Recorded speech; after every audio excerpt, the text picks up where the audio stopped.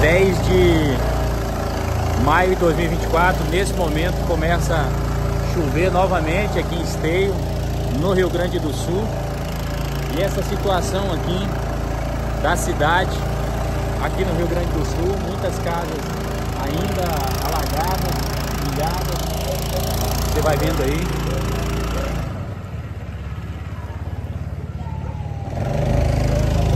Trovejando muito, tempo fechado. O pessoal ali andando com a água praticamente no joelho. Situação difícil. É isso aí, a gente vai trazendo notícias para vocês de tudo que vai acontecendo aqui no Rio Grande do Sul. É que eu não. Aqui a gente, aqui a gente vai descer, né? Não, não precisa descer que eu vou voltar para outra rua. Ah, beleza então. Então é isso aí, compartilhe esse vídeo, faça chegar aí um, o máximo de pessoas possível, né? Se possível, vamos cobrar as autoridades aqui da região para que mande é, a guarda municipal para essa região aqui, que está difícil aqui os moradores que estão fazendo aqui a segurança do local, a ronda, olha os animais ali, ó.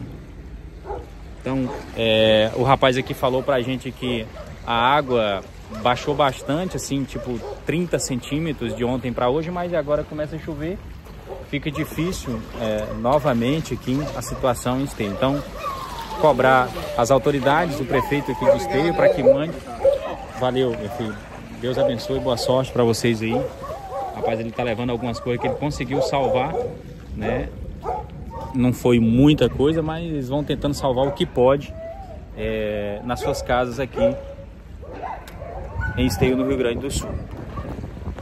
A segurança do local está sendo feita praticamente pelos moradores, né, Guerreiro? Fazendo bastante ronda aí, e, tá, e detalhe, tá, tem relatos aqui de que está tendo saques, né?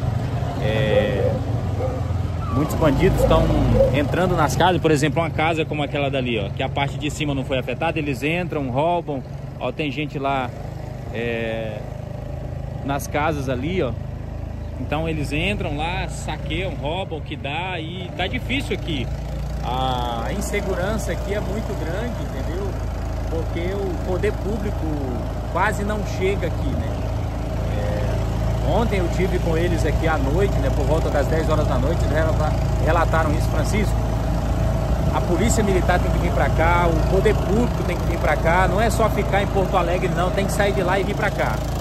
Bom? Compartilhe esse vídeo, segue nós aí, Francisco Melo Oficial trazendo informações atualizadas para vocês 10 de maio de 2024.